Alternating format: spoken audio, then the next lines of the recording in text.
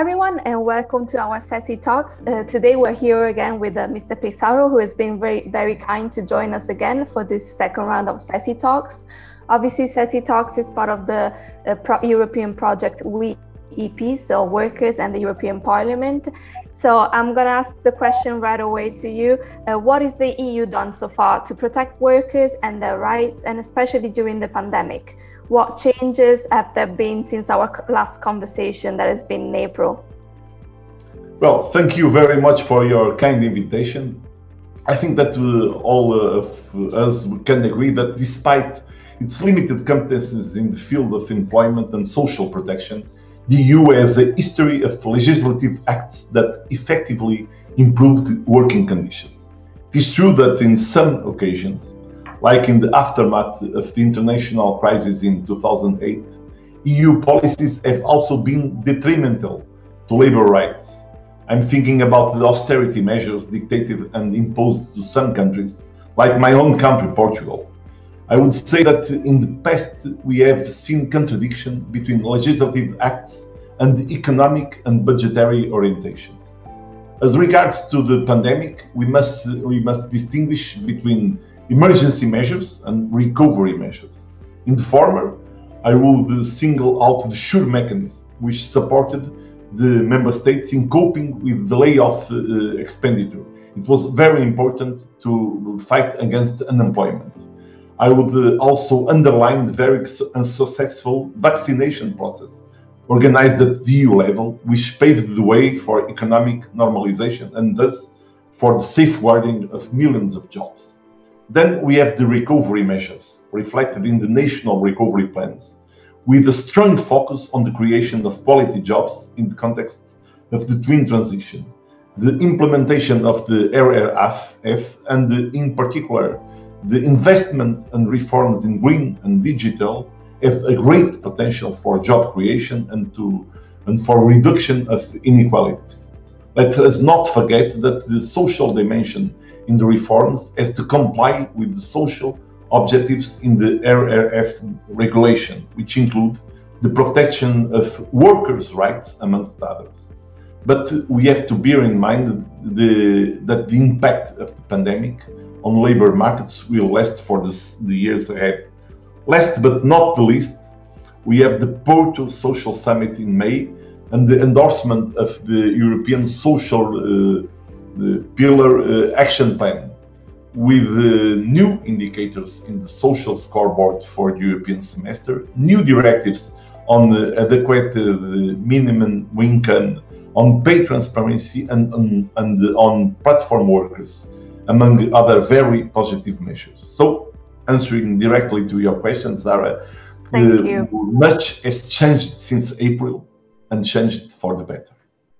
Absolutely, and we hope that it's going to continue to be so. And uh, as an MEP, you're also part of the Committee on Employment and Social Affairs, and uh, obviously connected to your to your answers just now.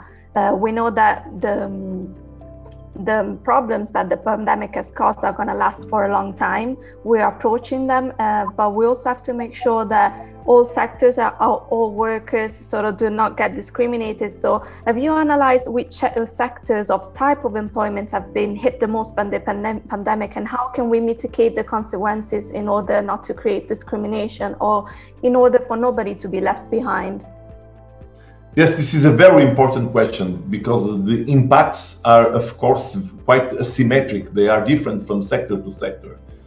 cross-border and posted workers were hit very hard by travel restrictions, of course. Overall, precarious jobs or jobs with less robust employment relationships were further penalized.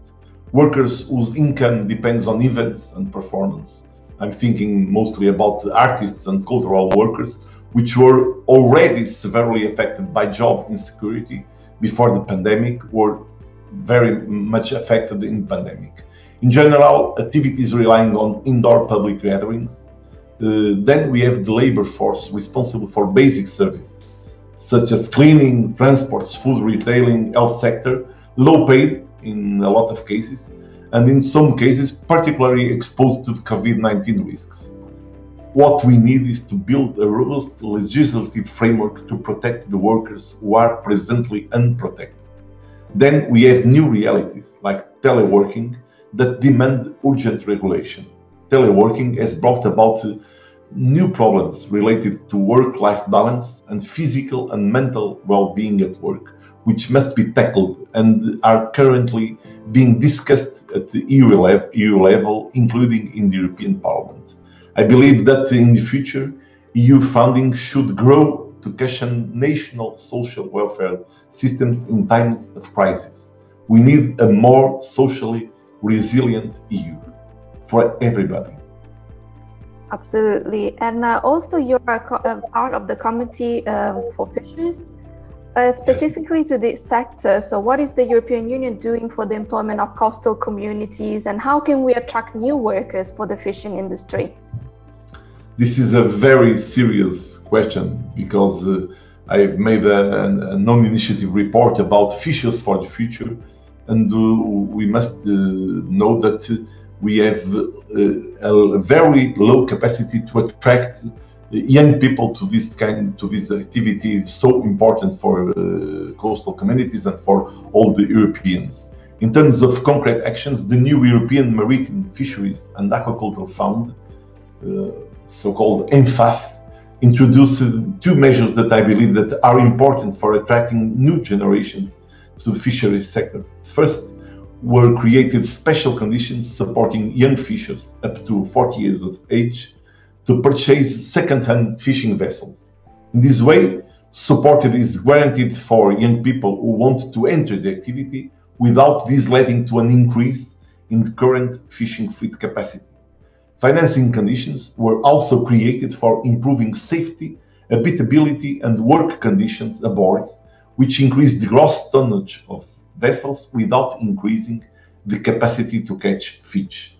This change solves problems identified by the sector and will not increase this, uh, and uh, will not only increase the safety and comfort on, of workspaces, but also create conditions that allow the boats to adapt to receive more female fishers to work on boats.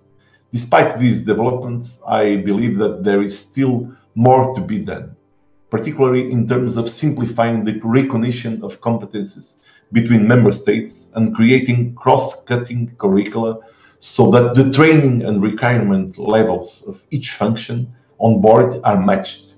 On one uh, of the fundamental rights of European citizens is to be able to work in any member state in a simple way, but the process of recognizing the skills and training for fishers is still a bureaucratic labyrinth and the Union has a duty to find practical and simple solutions. Well, thank you very much, Mr. P Mr. Pizarro. We have a lot of faith in Europe, and we hope we're going to be more united in the future. And obviously, to to be resilient is very important in this period in time, and to make sure that we actually get out of the of COVID-19 maybe stronger than before. Thank you very much for your time. It was a pleasure thank you. I think that we should believe together that it is Absolutely. with more Europe that we are going to solve our questions. It's not uh, from the with less Europe that we are not going to to. to we, we cannot fight this battle alone. Well, thank you very much. Good thank morning. Thank you. Thank you very much, and have a nice day. Thank you. Thank you.